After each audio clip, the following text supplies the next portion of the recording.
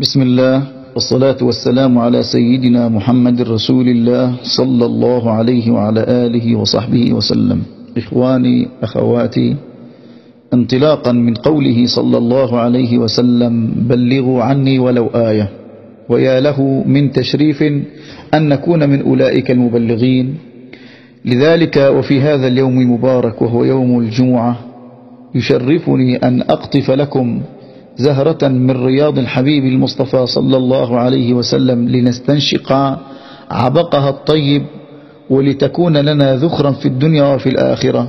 وما اخترته لكم في هذا اليوم هو حديث عن رسول الله صلى الله عليه وسلم والذي أطلب منكم أن ننشره على أوسع نطاق لنا ممن قد وضعناه عندنا في الواتساب وهو قوله صلى الله عليه وسلم إن من أفضل أيامكم يوم الجمعة فأكثروا علي من الصلاة فيه.